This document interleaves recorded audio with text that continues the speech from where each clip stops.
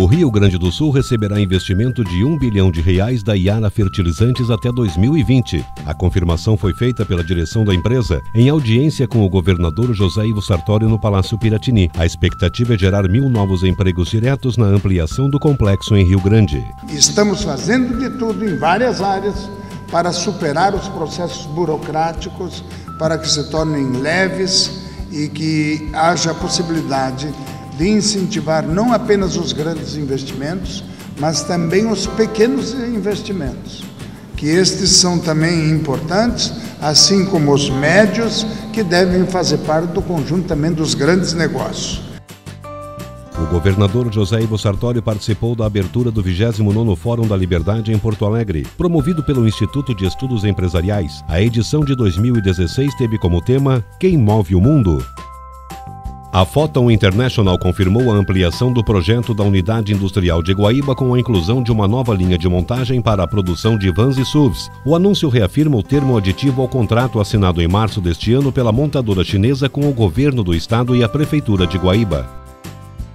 Governo do Estado, Tribunal de Justiça, Ministério Público e Prefeitura de Porto Alegre firmaram termo de cooperação e protocolo de intenções para ampliação do centro de referência no atendimento infanto-juvenil do Hospital Materno Infantil Presidente Vargas, na capital. O que nós estamos conseguindo agora nessa parceria, junto com o Tribunal de Justiça, é poder ampliar esse espaço, criar melhores condições para continuar atendendo, dando um atendimento de qualidade.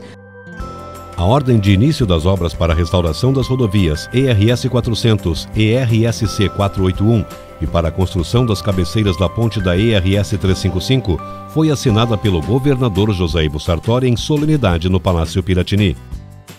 A renegociação da dívida do Estado com a União, a apresentação da liminar obtida junto ao Supremo Tribunal Federal e a situação financeira do Estado foram tema de encontro entre o governador, secretários de Estado e representantes dos poderes, instituições, associações e sindicatos.